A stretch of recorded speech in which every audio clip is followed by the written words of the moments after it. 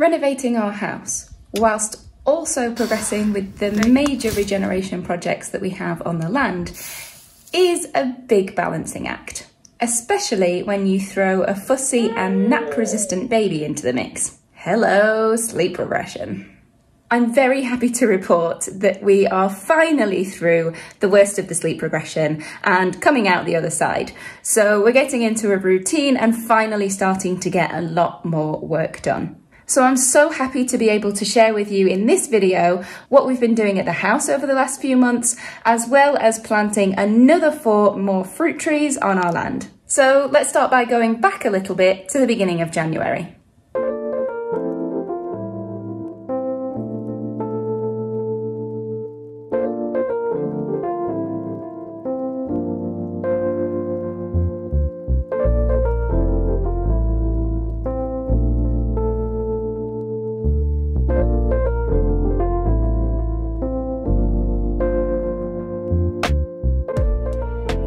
Technology is pretty impressive.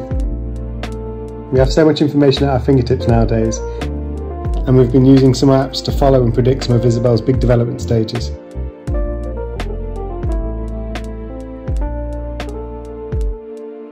So when we saw that around the 7 to 8 months point is when separation anxiety starts to kick in, we decided 6 months old was the right time to get her out of our bedroom and into her own space.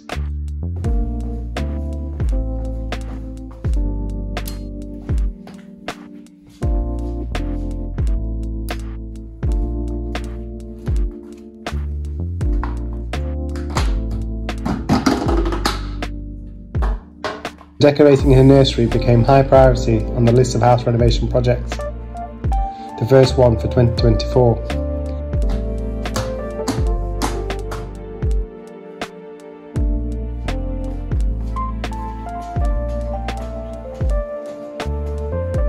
As with the old houses, this 120 year old doer-upper needed a bit more than just a lick of paint.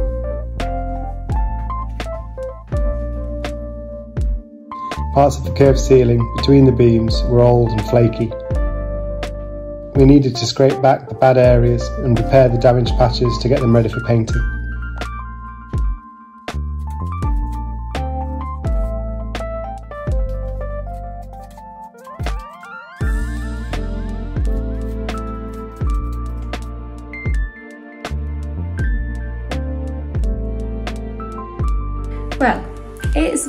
Definitely hard to do these bits of the ceiling when you're upside down, but it's getting there.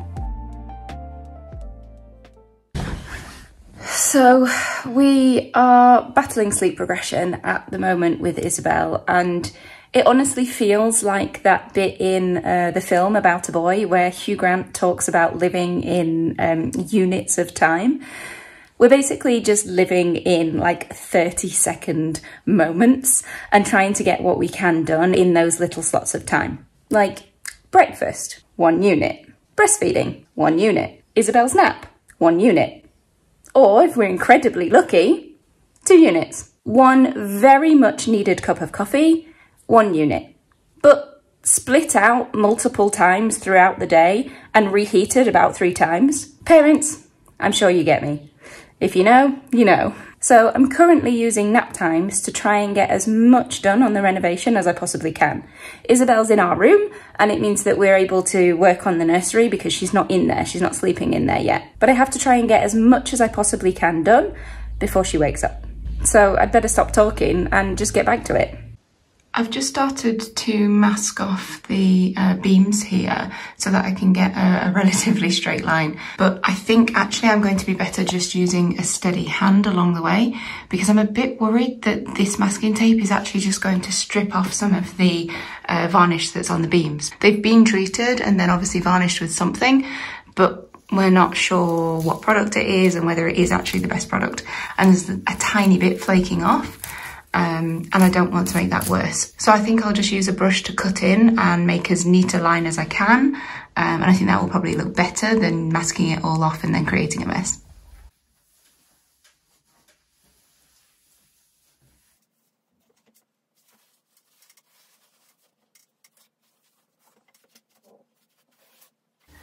I was ready to start painting the ceiling this morning and when I went downstairs to go and get the paintbrushes from the garage, I realised that last time we painted we did a really, really terrible thing and we didn't clean the brushes. So that meant that we had four brushes that were completely solid um, full of paint. There was no way you were using a bit of soap and water to get those clean. And it's Sunday, so I thought that that was painting out the window. So I had a quick search online and had a look around at different remedies and ways to actually clean brushes. A lot of them are coming up with um, this particular like oil soap, Murphy's oil soap I think it was called.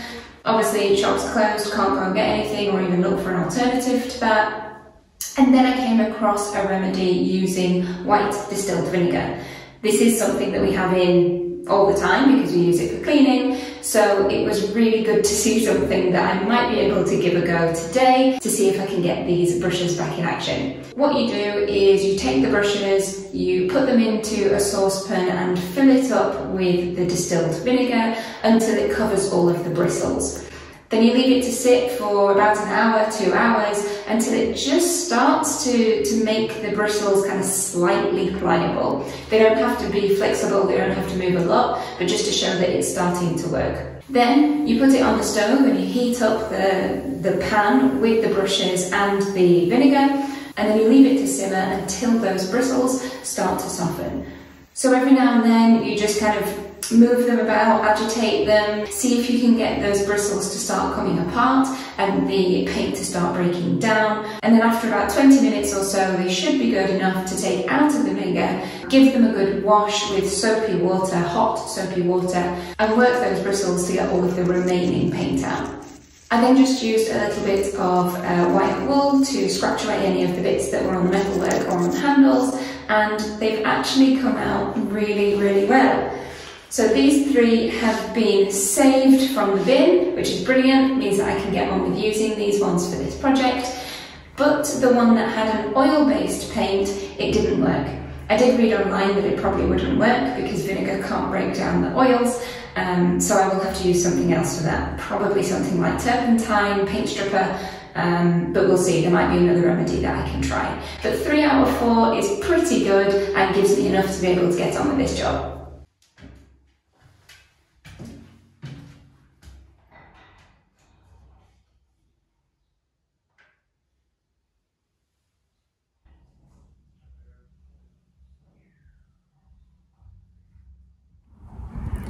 It's a gorgeous Sunday today, despite the wind.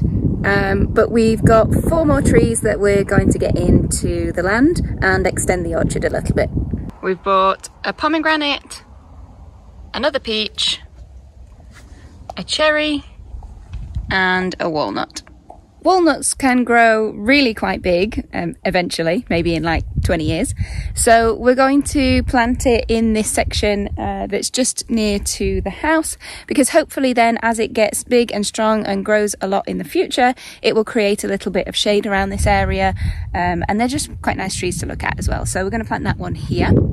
Down from this area, we've then got the veg patch down on the lower bancal, and that's where we're going to put the other peach.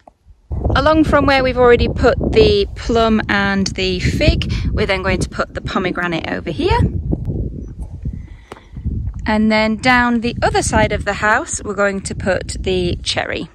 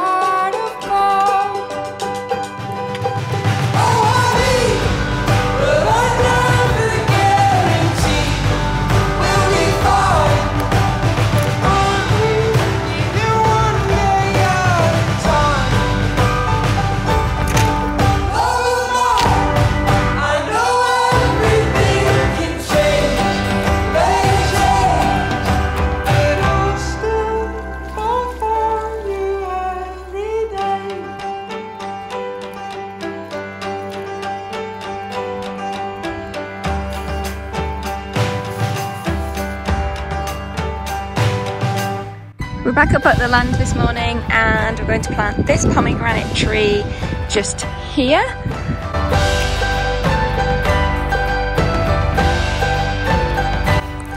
So this is the last spot, just round from the house. And this is where we're going to be putting the cherry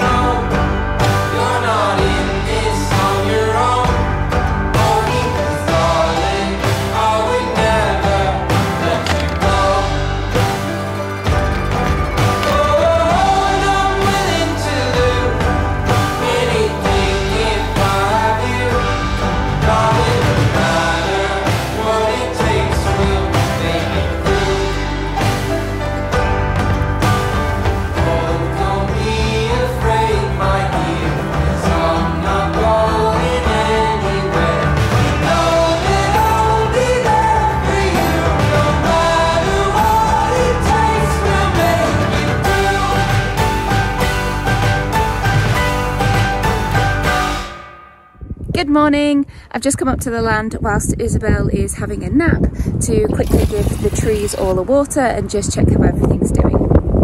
These little rock waterers that we put in are actually working really, really well to make sure that we can just put water straight down into the root of the tree and make sure that it's getting a really good drink every day. So we're putting about half a bucket in every day at the moment, um, about two and a half litres or so, just to make sure that it gets a really, really good soaking in these first few weeks and hopefully gives it the best chance to take hold and get those roots going. So the fig tree here, you can see is already starting to do quite well. Lots of little leaf buds. And the leaves are just starting to pop out. There isn't any new growth on the plum yet, but we've been told that that's very normal and it's a bit too early in the season. But all these little nodes are where the leaf buds should come once they're ready to grow.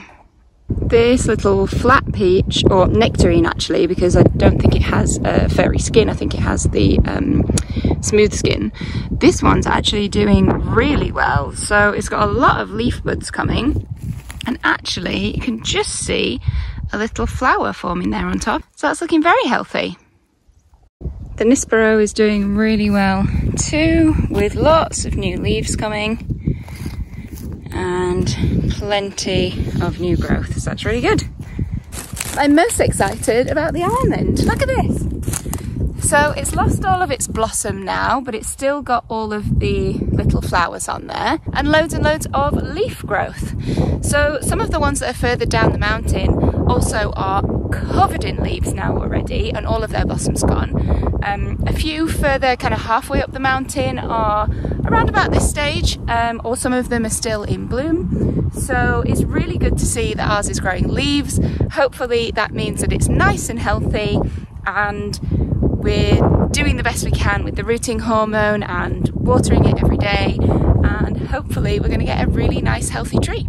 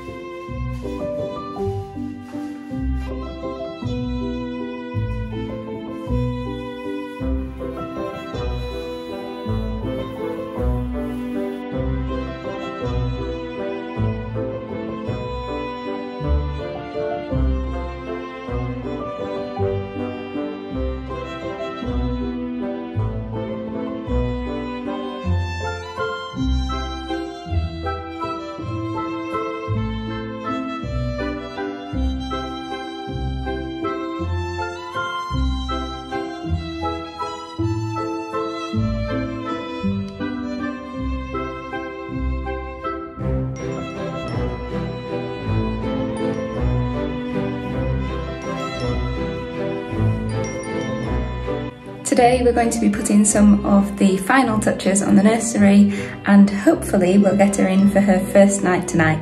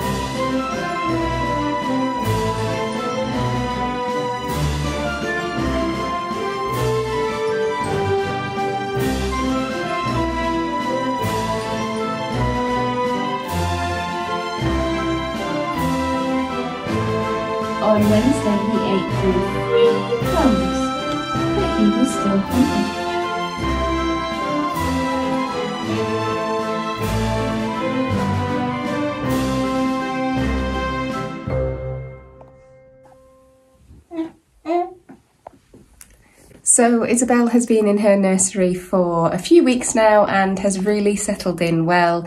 She sleeps very well in here, um, waking a couple of times during the night still, but she's still only little, so I think we can forgive her for that. But for now, we're going to do nap time routine and get her ready to go down for a little bit. And I think that's where we'll leave it for this one.